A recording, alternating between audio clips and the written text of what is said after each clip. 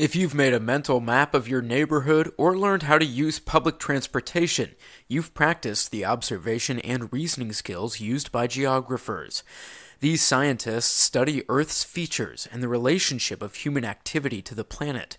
Many geographers do field work to gather data and study maps, photographs, and census reports for their research. They also create maps and geographic images, which may be used to guide decision making related to land use and groups of people. Geographers usually focus on either Earth's physical aspects, such as landforms, waters, and natural resources, or on human geography, which explores the relationships of human activity to the physical environment.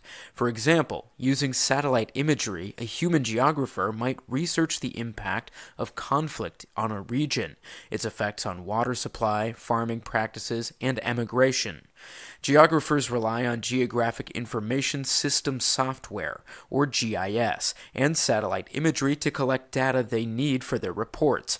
Most geographers work standard full time business hours. Some geographers travel to the region they are studying, which can mean visiting foreign countries and remote locations.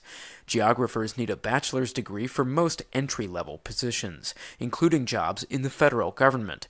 GIS skills and geography knowledge are used in the work of surveyors, urban and regional planners, and geoscientists. A master's degree and related work experience are typically required for more advanced positions.